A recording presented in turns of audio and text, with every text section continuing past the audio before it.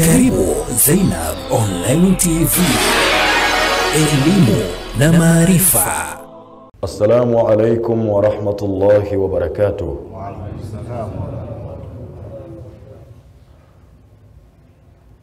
الحمد لله رب العالمين والصلاة والسلام على أشرف الأنبياء والمرسلين وآله وصحبه أجمعين وبعد رب اشرح لي صدري ويسر لي أمري واحلل عقدة من لساني يفقه قولي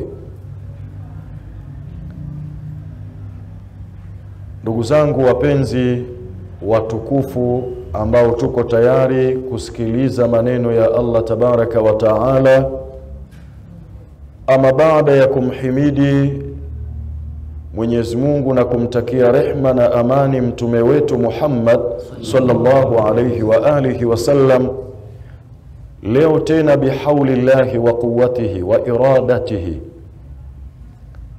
kwa nguvu zake yeye Mwenyezi Mungu na kwa ujanja wake yeye Mwenyezi Mungu na kwa matakwa yake yeye, tumekutana tena katika darsa hii tukiwa wazima wenye afya, japokuwa mashakil hayakosi,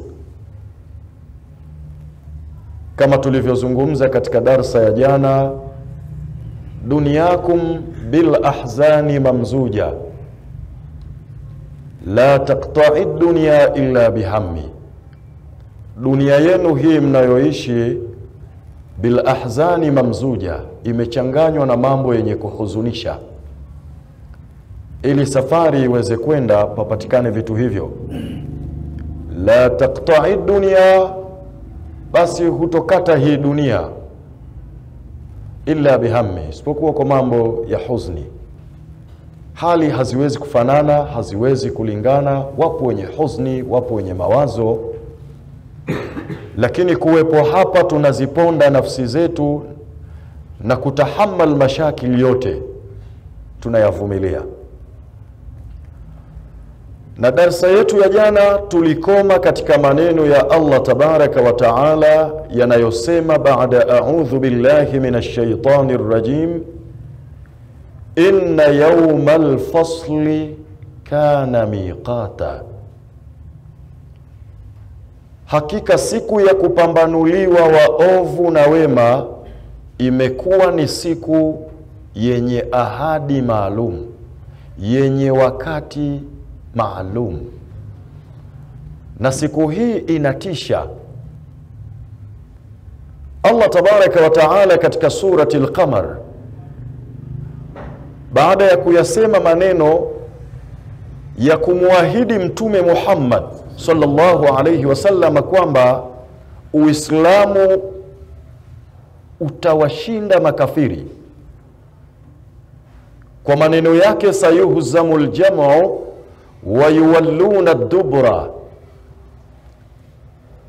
alisema bali saatu mau'iduhum wasaatu adha wa amar. Hawa makafiri kiama ndiyo ahadi yao, lakini kiama hiki kikoje? Akasema adha, kinatisha sana wa amar, na kiama ni kichungu sana. Na ukisoma katika historia ya mwana ya mchamungu mmoja alikuwa akiitwa Malik ibnu Dinar. Malik ibnu Dinar, sababu ya kuja katika uchamungu, Mwenyezi Mungu alimwonyesha kiama kwamba namna gani kiko bado yuko katika uwanja wa dunia. Mmoja katika wachamungu wakubwa, na kabla ya uchamungu wake alikuwa ni sakar, mlevi sana kupindukia. wakaana shurtiyu, na alikuwa ni askari polisi. Huyu Malik ibnu Dinar mnayemsikia alikuwa ni polisi na alikuwa ni mlevi sana. Moja katika pitapita zake akakutana na mwanamke ambaye alipendezwa naye akamfanya mtumwa, kisha baadaye akazaa naye binti. Yule binti akaanza kukua. Kadiri ya makuzi ya yule binti, anamshuhudia baba yake anakuja na pombe nyumbani, halafu anabwia ule mvinyo. Basi yule binti akawa anaivuta ile meza yenye ile pombe, pombe inamwagika. Ndiyo yakawa maisha ya mtoto, ya mtoto wake. Wakati mwingine yule mtoto anachukua ile glasi ya pombe anamwagia baba mtu, kwa kuwa baba mtu alikuwa akimpenda mwanaye, akaona don't worry, hii haina tabu bana. Wakati mwingine akitaka kunywa anajificha mwanaye asione, lakini ni mtoto mdogo. Angalia mitihani ya Allah, haikupita muda yule mtoto akaaga dunia, akafariki. Akahuzunika sana Malik ibnu Dinar kwa yule mtoto kufariki. Sasa Mwenyezi Mungu anataka kumwonyesha kiama kikoje. Mmoja katika masiku amelala, faraa fi lmanami anna alqiyama kad qamat, akaona ndotoni kwamba kiama kimesimama. wannasu yakhrujuna min alajdathi siraan kaannahum ila nusubin yufidun, watu wanatoka katika makaburi yao mbio, wanakimbia kule wanakokimbizana, kama vile wameahidiwa donge nono. Ile hali inayosemwa katika Qurani ndiyo ikashuhudiwa katika ndoto zake, yauma yafiru lmaru min akhihi wa ummihi wa abihi wa sahibatihi wa banihi. Mungu akitaka kukuonyesha mambo anakuonyesha. Miongoni mwa watu waliokuwa wakikimbizana na yeye akawemo Malik ibnu Dinar. Katika mbio zake kando kando ya barabara akamuona mzee mmoja msafi sana ametulia pembeni ya barabara, akamwambia aghithni ya sheikh, nisaidie mzee wangu, hii siku ni kubwa sana. Yule mzee anamwambia la quwata li ala an uinuka, mimi sina nguvu za kukusaidia kijana wangu, kimbia mbele kule labda kuna msaada. Malik ibni Dinar anapanda mlima, anachungulia, anaona kule anakuangalia tena kuna Jahannam, moto unawaka. Ukiambiwa inna saa la atia akadu ukhfiha, kwamba kiama kinakuja tena kinasogea, kiogopeni, ogopa kweli. Anachungulia, anakuta kuna Jahannam, moto unarindima anaona huku si pa kwenda.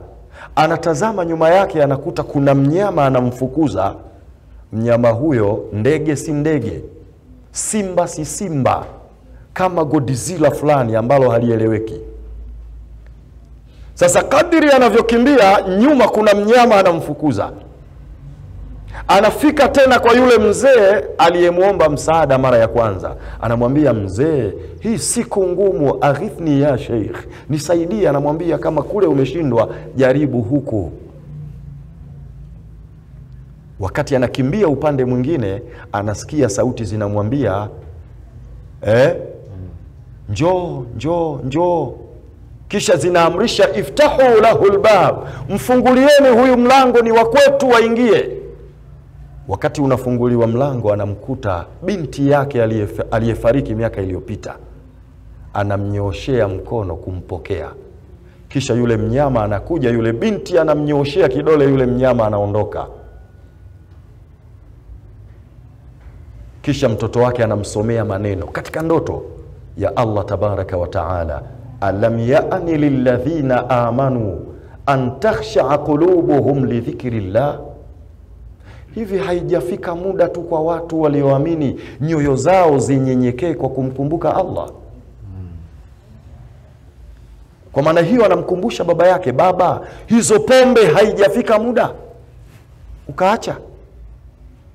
anamuuliza mwanaye na yule mzee aliyekuwa akinipa mwongozo direction kimbilia huku ni nani yule mtoto anamwambia dhalika amaluka allati la takfika zile ni amali zako unazomfanyia mungu nazo hazitoshi. Ndio maana mzee alikuwa anakuambia mi dhaifu. Anauliza na yule mnyama alokuwa akinifukuza ni mnyama gani? Mtoto anamwambia dhalika amaluka. Hivyo ndio vitendo ulivyokuwa ukivifanya. Na haya yameswibu kabisa na kauli ya mtume muhammad sallallahu alaihi wasallam katika hadithi ya barai ibnu azib. Pale mtu atakapowekwa katika kaburi atakuja mtu mwenye sura mbaya. Baada ya yale maswali atakuja mtu kiumbe mwenye sura mbaya. Atauliza yule aliyewekwa katika kaburi man anta? Walimadha wajhuka qabihun? We ni nani? Mbona sura yako mbaya sana? Kile kiumbe kitamjibu ana amaluka mimi ni vitendo vyako lati amilta ambavyo ulivyokuwa unavifanya katika dunia. Kwa hiyo unapofanya matendo yako ukidhani kwamba unapatia jua unaharibu mno. Pale malik ibnu dinari akashtuka kutoka katika usingizi na ile ndoto. Asubuhi tu sala watu wanamkuta msikitini. Bia shekhe vipi? Na nami nimeamua kujiunga huku shekhe. Mambo sio shwari kwa hiyo mwenyezi mungu anaweza akakuletea ujumbe wa kurudi katika hidaya kwa njia yoyote ile. Ndio tukasema wasaatu adha wa amar. Kiama kinatisha sana na kiama ni kichungu sana.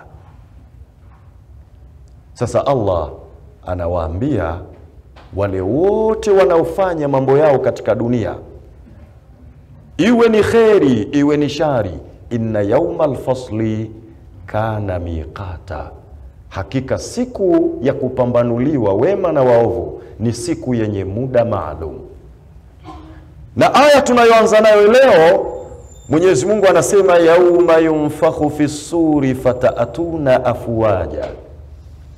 Wafutihati lsamau fakanat abwaba wasuyirat ljibal fakanat saraba inna jahannama kanat mirsada.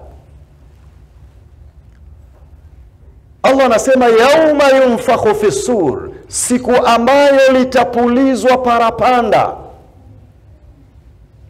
Fataatuna nyinyi mtakuja siku hiyo ya Kiyama afuaja makundi kwa makundi. Makundi kwa makundi vipi qurani ina kanuni ya kujifasiri yenyewe. Yaqulu tabaraka wa taala fi lisrai mwenyezi mungu anasema katika surati lisrai aya ya sabini na moja. Yauma nad'u kulla unasin biimamihim فمن أوتي كتابه بيمينه فأولئك يقرؤون كتابهم ولا يظلمون فتيلا. أنا سيما الله تبارك وتعالى يوم ندعو سيكو أمبايو تتوايت كل أناس بإمامهم كل واتو ننبي واو yauma nad'u kulla unasin biimamihim siku ambayo tutawaita kila umma na kiongozi wao. Watu wa musa musa njoo hapa. Watu wa ibrahim ibrahim njoo hapa. Watu wa nuh wewe nabiyullahi nuhu njoo hapa. Sasa allah anasema faman utiya kitabahu biyamini ama yule ambaye atapewa kitabu chake kwa mkono wake wa kulia siku hiyo ya kiama faulaika yaqrauna kitabahum. Hao watasoma kitabu chao kwa kujigamba. Kwa nini tunatafsiri kwa kujigamba Qurani inaripoti fa amma man utiya kitabahu biyaminihi fayaqulu haumu iqra'u kitabia inni dhanantu anni mulaqin hisabia fahuwa fi ishatin radhiya. Qurani inaripoti atakayepewa kitabu kwa mkono wa kulia atasema haumu, e jamani, njoni iqra'u kitabia, njoni msome kitabu changu. Ina maana tayari anajua kilichomo ndani ya kitabu ni kitu ambacho kinaridhisha. haumu kitabi, kitabia, njooni msome kitabu changu. inni dhanantu, mimi nilijua anni mulaqin hisabia, kwamba mimi nitakutana na hii hesabu yangu. Baada ya hapo, fahuwa fi ishati radhiya, atakuwa katika maisha mazuri yenye kuridhia. Mwingine atakayepewa kitabu kwa mkono wa kushoto atasema ya laitani lam uta kitabia, bora nisingepewa hata hiki kitabu. Sasa surati Lisrai sabini na moja Mwenyezi Mungu anasema yauma nad'u kula unasin biimamihim. Tuna tafsiri fataatuna afuaja, mtakuja makundi kwa makundi. Ni siku ambayo Mwenyezi Mungu atamwita kila nabii na watu wake. Faman utiya kitabahu biyamini, atakayepewa kitabu kwa mkono wake wa kulia. Qurani inasema faulaika yaqrauna kitabahum, hao watasoma kitabu chao, wala yudhlamuna fatila, wala hawatodhulumiwa walau kidogo. Fatil, kwa nini Mwenyezi Mungu katumia neno fatila, hakutumia qalil? Lakini katika fasiri tumesema kidogo. Neno fatila ni alkhaitu raqiq, ni kijiuzi chembamba sana. Kwa hiyo utakapokuja siku ya Kiyama hautodhulumiwa walau kwa uzito wa kijiuzi, wala yudhlamuna fatila. Yauma yunfakhu fi sur fataatuna afwaja, siku litakapopulizwa parapanda mtakuja makundi kwa makundi, kila mtume na umma wake. Na Qurani imeripoti Yunusu 47, walikulli ummati rasul, kila umma una mtume. Walikulli ummati rasul, kila umma una mtume. fa idha jaa rasuluhum qudhiya bainahum bilqisti atakapofika yule mtume wao, ndiyo hukumu sasa inapita. We Musa, tulikutuma kwa bani Israil, nyie bani Israil kaeni hapa, we Musa kaa hapa, kisha hukumu inaanza kupita. We Nuhu ulikaa miaka mia tisa hamsini kwa watu wako, kaa hapa, watu wako wakae hapa. Wakudhiya bainahum bilqisti watu wanahukumiwa kwa uadilifu, wa hum la yudhlamun. Yauma yunfakhu fi sur fataatuna afwaja. Na ndiyo Quran katika surati Nisa, Mwenyezi Mungu anamwambia Mtume, fakaifa idha ji'na min kulli ummatin bishahid wajina bika ala haulai shahida Itakuwa hali gani kwako we Muhammad, idha ji'na min kulli ummatin bishahid, tutakapoleta kila umma na shahidi wao. Shahidi wao wa kwanza atakuwa mtume wao. Waji'na bika ala haulai shahida, na we tutakuleta juu ya hawa uwe shahidi. Aya hii ilimliza Mtume Muhammad.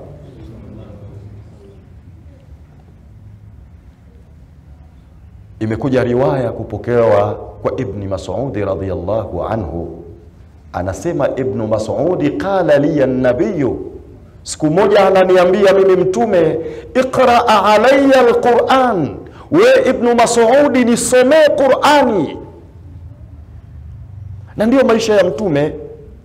Isiwe ikawa we imamu msikitini, unakimu wewe, unaswalisha wewe, ukimaliza unaomba dua wewe, ukisimama unatoa mawaidha wewe, ukimaliza unachangisha wewe, kisha Fatiha watu wanasambaa. Mtume anakuonyesha namna ya kugawa majukumu. Anamwambia Ibnu Mas'ud, iqra alayya alquran, nisomee Qurani. Ibn Mas'ud anamwambia Mtume, ya Rasulullah, aqrau alaika wa alaika unzila, nikusomee wewe na wewe ndiyo Qurani imeteremshwa kwako, inawezekana vipi? Qala, Mtume akasema inni uhibbu an asma'ahu min ghairi, leo hamu yangu nataka niisikie ikisomwa na mtu mwingine. Na ndio maana juzi tulisomewa na mtu mwingine, jana na mwingine, leo na mwingine, raha mustarehe. Mtume anamwambia Ibn Mas'udi, leo nataka nisikie ikitoka katika kinywa cha mtu mwingine. Ibn Mas'udi anasema fakaraatu nisaa, nikasoma surati nisaa Ya ayuha nnasu ttaquu rabbakum alladhi khalaqakum min nafsin wahida, sio inaanza hivyo eh? wa khalaqa minha zawjaha وبث منهما رجالا كثيرا ونساء inavutwa hiyo watu wa tajwidi wanasema ni maddu iwad ukikuta hamza ina tanwini lazima uvute kama ilivyo katika surati al-Waqi'a inna anshanahunna inshaa ndo mambo yanakwenda vizuri eh? Sasa Ibn Mas'udi kasoma surati Nisa, kaenda na ile surati Nisa, kafika sehemu akaisoma aya hii, fakaifa idha jina min kulli ummatin bishahid wajina bika ala haulai shahida. Mtume anamwambia hasbuka, imetosha. Ibn Mas'udi anamgeukia Mtume Muhammad, faidha ainahu tadhrifani, anakuta Mtume analia. Kinachomliza nini Mtume Muhammad? Kwamba yeye atabeba dhamana ya kuwatolea ushahidi, we ulilewa. Na kwake Mtume kazi hiyo ni ngumu mno, sio katika maumbile yaliyoungwa na Allah tabaraka wa taala. Rejea hadithi ya Buraira ambaye alikuwa ni mtumwa katika nyumba ya Mtume Muhammad. Alikuwa ni mtumwa wa kike huyu. Siku moja anatoka sokoni, huyu Buraira anakutana na mmoja wa watu wa wakazi wa Madina. Anaambiwa yule Buraira na yule bwana, ghatti shafiataki fa inna muhammadan lan yughniya anki min Allahi shay'a, acha uchawa, we ni chawa sana wa Mtume. Fa inna muhammadan, huyu Muhammad la yughni anki min Allahi shaia, huwa hasaidii kabisa na hatosaidia kabisa kwa Mungu chochote. Kaa kivyako wewe. Yule Buraira likamuuma lile, kaenda kwa Mtume analia. Mtume anamuuliza ma biki, una nini? Anasema nilikuwa kule barabarani nakutana na mtu ananiambia, acha uchawa, acha kiherehere. Mtume hasaidii kwa Mungu chochote. Mtume anauliza rudia, anaambia nimeambiwa ghatti shafiataki, acha ucha. Wamesema hivyo Mtume sallallahu alayhi wasallama, fakharaja yajurru ridaahu muhmaratu wajnatahu, Mtume katoka ndani anakokota nguo yake, sura imeshakuwa nyekundu.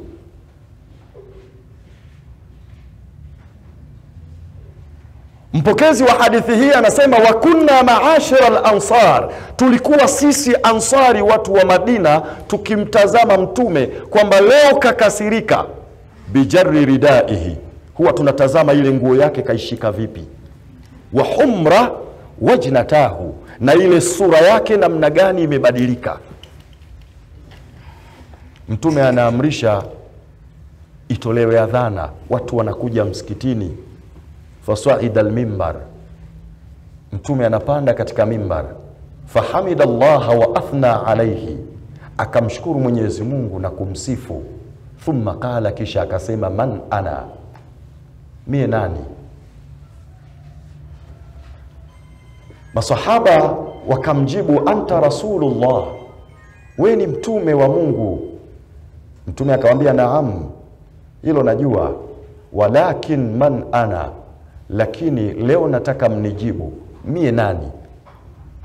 Hilo la mtume hata mi najua. Walakin man ana lakini nataka mniambie mi nani?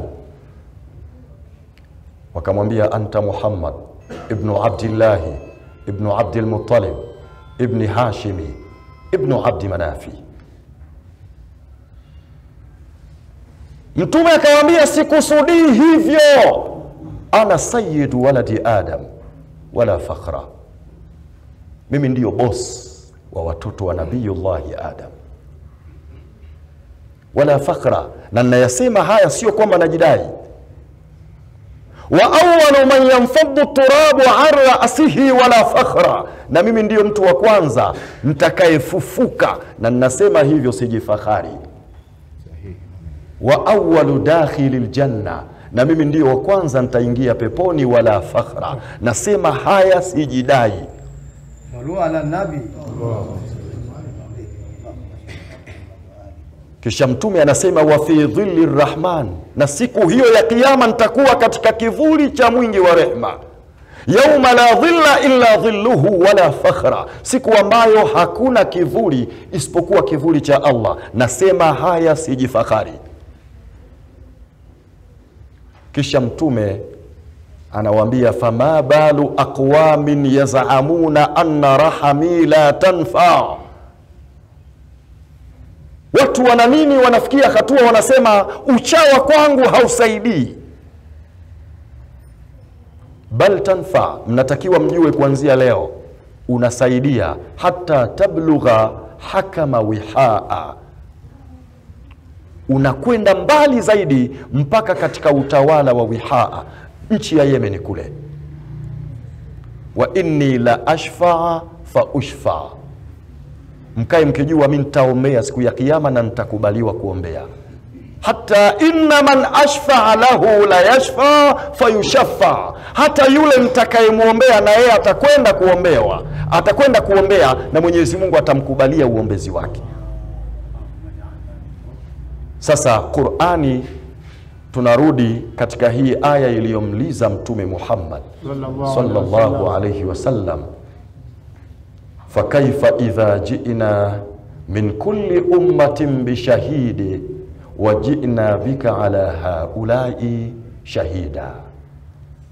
Yauma yunfakhu fi sur siku ambayo litapulizwa parapanda fataatuna afuwaja, mtakuja makundi kwa makundi. Kila nabii na umma wake kila nabii atatoa ushahidi kwa umma wake ya rabbi inna qaumi ittakhadhu hadha alqurana mahjura. Na mtume atasema hawa watu qurani waliikimbia. Sasa leo na swali tu la asri unakimbia unaacha darsa. Lini fikra zako utakaa katika darsa? Turudi katika kiama mwenyezi mungu anasema wafutihati samau. Ndio hapo eh? na zitafunguliwa mbingu fakanat abwaba zitakuwa milango milango. Wafutihati sama fakanat abwaba yaqulu tabaraka wa taala mwenyezi mungu anafasiri hapa kwa maneno mengine. Wa yauma tashaqqaqu samaa ويوم تشقق السماء بالغمام ونزلت الملائكة تنزيلا 25 Furqani wa yauma tashaqqaqu samaa, na siku ambayo zitapasuka mbingu bilghamami, kwa kuondolewa yale mawingu. Mwenyezi Mungu katumia neno ghamam kama tulivyosoma katika darsa ya jana. Alghamam ni ile ozone layer inayozuia joto la jua. Sasa Mwenyezi Mungu ataiondoa hiyo, wa yauma tashaqqaqu samau bilghamam siku ambayo zitapasuka mbingu kwa kuondolewa yale mawingu yanayozuia joto la jua. wanuzila almalaikatu tanzila, na watashushwa malaika kwa wingi. Almulku yaumaidhin alhaqu lirrahman, ufalme siku hiyo wa kweli ni wa Allah tabaraka wa taala. Wa kana yauman ala alkafirina asira, na imekuwa siku hii kwa makafiri ni ngumu mno. Kwa nini malaika wanateremshwa? Ndio surati Lfajri ina ripoti yauma yaqumu ruhu walmalaikatu saffa la يتكلمون إلا من أذن له الرحمن. وقال صوابا siku ambayo atasimama Jibril na malaika wengine safu. La yatakallamuna, hakuna atakayesema siku hiyo, illa man adhina lahu rrahman, isipokuwa yule ambaye atakayepewa idhni ya Mungu, na Mungu sema wakala sawaba, na atasema ukweli mtupu, atasema ilivyo, kwamba hii ya Rabbi imekaa hivi imekaa hivi imekaa hivi. Leo tunadanganyana hapa kwamba hii shekhe imekaaje, ah, hii bana hainihusu, wakati inakuhusu, lakini kule siku ya Kiyama utasema ilivyo. Sasa Allah tabaraka wa taala anasema wafutihati samau fakanati abwaba, zitafunguliwa mbingu zitakuwa milango milango. Wasuyirati ljibal, na milima itasagwa. Wasuyirati ljibal na milima itaendeshwa. Fakanat saraba, utakuwa ukiitazama unaona kama vile maji yanabubujika. Wayasalunaka ani ljibal, walikuja kumuuliza Mtume sallallahu alaihi wasallam kunako milima haya, kiama kitakuja na milima hii itakuwaje? wayasalunaka anil ljibal, wanakuuliza wewe kunako milima. Fakul yansifuha rabbi nasfa, waambie hii milima ataisaga Mwenyezi Mungu. Na ndiyo katika Alqaria Mwenyezi Mungu anasema watakunu ljibalu kalihni lmanfush, itakuwa hii milima kama vile sufi iliyonyambuliwa. inna jahannama, hakika jahannamu kwa watu waovu, kanat mirsada, imekuwa ikiwangoja. Inna jahannama kanat mirsada. Usipozinduka kwa hii darsa, usisubiri kuzinduka kwa zali la mentali, maana kuna watu wengine wanakuwa wacha Mungu kwa zali la mentali. Mmoja katika watawala waliopita alibahatika kupata binti tu pamoja na utawala wake, mtoto wa kike tu. Yule binti kadiri alivyokuwa anakuwa, uzazi umegoma na yeye uzee unasogea. Akawa anatafakari katika kichwa chake, nani atamuoza huyu binti yake? Anatakiwa awe mtu makini, kwa sababu mtu huyu ndiye atakayekuja kurithi nini ule utawala, sababu huyu ni mtoto wa kike. Katika vitu vilimuumiza sana katika maisha yake, nani atakuja kumwoa binti yangu? Hata we kama binti leo umemlea katika malezi mazuri, umehangaika naye, lazima kichwa kiume. Nani anakuja hapa? Nani atapiga hodi hapa? Yule binti alipofikia sasa umri wa kuolewa, akaweka nadhiri kwamba nitafutieni katika misikiti kimya kimya, nani kasimama usiku anafanya ibada, huyo ndio ana, anafaa kuwa binti yangu. Waziri mkuu kaondoka na zoezi hilo. Kumbe ule usiku kuna jamaa mwingine njaa ishampiga, anaona ile saa ya msikitini inanifaa. Kafika msikitini, anatikisa mlango, milango imefanyaje? Imefungwa. Yule jamaa kadikira, kwetu huko Kigoma tunasema kudikira, kadikira ti ndani. Wakati anatungua ile saa ya msikiti, ma anasikia nje waziri na askari wake nao wanafungua yale makomeo, wanaona kama kuna mtu humu ndani. Yule bwana alipogundua kuna watu wanakuja, basi akanuia salli ركعتين سنة lhaja lillahi taala, Allahu akbar. Wale watu wameingia, wanamkuta yule bwana anapiga rakaa, samia Allahu liman hamida, mambo yanaenda, Allahu akbar. Kila yule bwana akitoa salamu, salamu alaikum warahmatullah, anaona wale jamaa wanamsubiri, anaona hawa jamaa nikikatisha tu hii swala nimeisha, ananuia nyingine usalli rakataini sunnati lhaja lillahi taala. Basi alipiga rakaa zake za kutosha, wale jamaa wanamsubiri, wale wanaoda ya kuja kumchukua wampeleke kwa mfalme, kwamba huyu ndo mcha Mungu wetu. Yeye anajua hawa mabwana wamenikuta na ibasaa, sasa nusura yangu ni swali mpaka alfajiri. Waziri kasubiri we, kaona "Ah, sasa akitoa salamu hii lazima tumwambie shehe, imetosha. Yule bwana anatoa tu salamu ya kwanza, akamwambia shekhe, imetosha. Nafsi yake namwambia nimeisha. ah, nishaisha hapa. Mwambia twende, unahitajika kwa bwana mkubwa bana. Kimya kimya, wakampeleka mpaka kwa mfalme, ambia shekhe, mtu wako ni huyu hapa.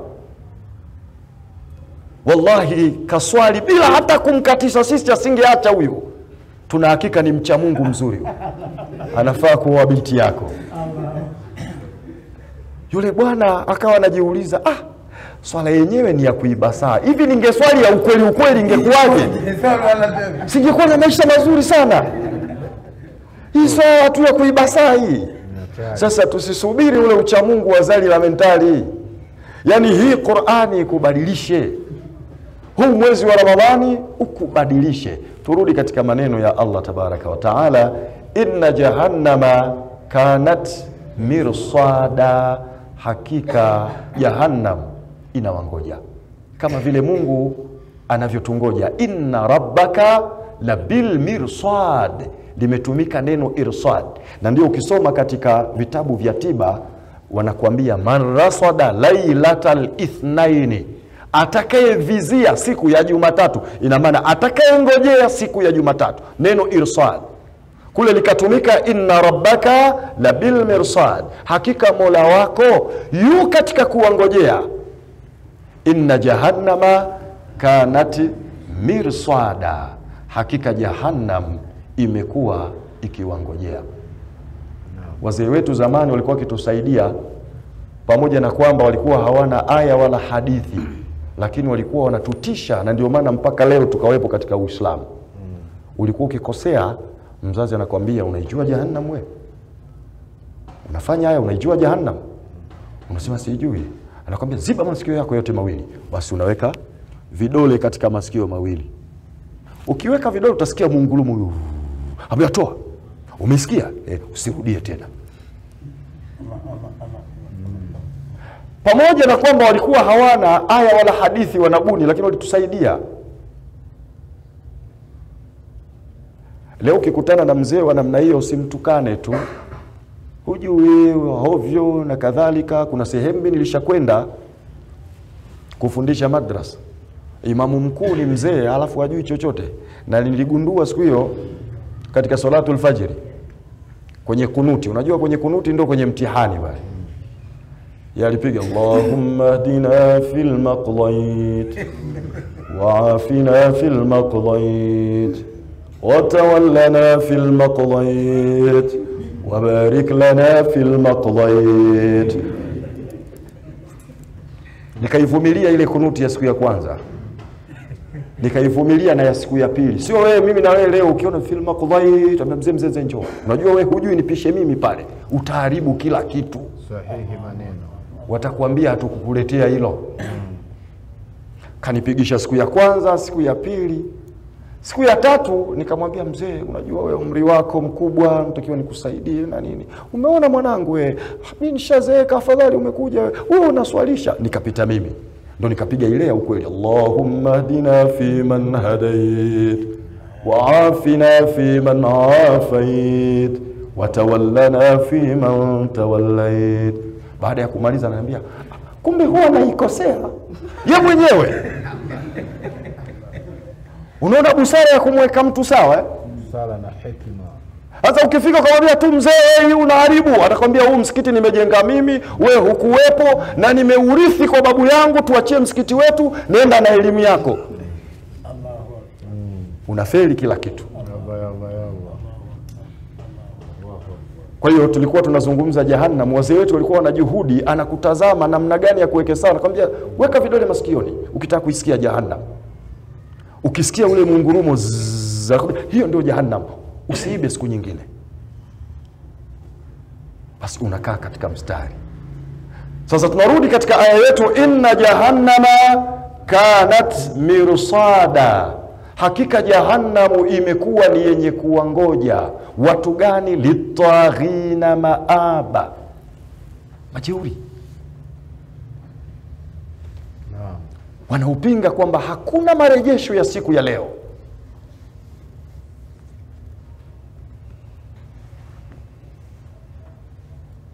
Jahannam,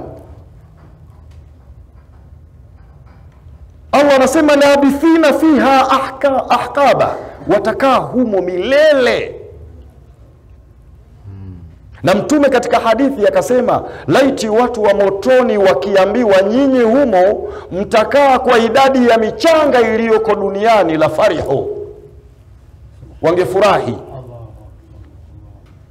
Walakin juila lahum ahqaba, lakini wamewekewa kukaa humo milele. Labithina fiha ahqaba, watakaa humo milele tena Mwenyezi Mungu anasema la yadhukuna fiha bardan wala sharaba, hawatopata humo baridi ya aina yoyote wala kinywaji cha aina yoyote, illa hamiman wa ghassaka, kinywaji chao ni usaa na maji ya chemkayo. Yani we ukisikia kiu katika Jahannam unapelekwa katika usaa na wakati mwingine ule usaa unatoka min furuji nisai zaniati, yani wale wana makahaba wale wa duniani kule, tupu zao zitakuwa zinatoa usaa. Sasa unatiririka mule katika moto wa Jahannam. We ukisikia kiu unaambiwa Shekhe Musa, kunywa na. Wewe si una kiu, kunywa hapa. Leo ukiona unatema mate, lakini kama huyataki haya, basi fanya ibada kama huyataki haya basi fanya ibada. Naona makadirio yetu na muda wetu tuliojiwekea kila siku eh, sasa hivi saa kumi na mbili kasoro tuna muda wa dua na tuna muda wa maswali. Wabillahi taufiq, wassalamu alaikum warahmatullahi wabarakatuh. Ili kupata haya na mengine mengi, usiache kusubscribe Zainab Online TV.